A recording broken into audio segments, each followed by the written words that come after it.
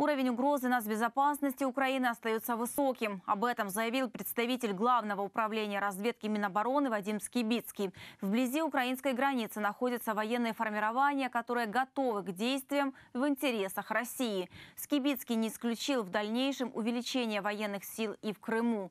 Также Россия продолжает снабжать террористов на Донбассе. Через Дебальцево зашли вагоны с боеприпасами, цистерны с топливом, а через Ровеньки с горючим. На этой неделе РФ усилила усилила разведку в Украине и около госграницы.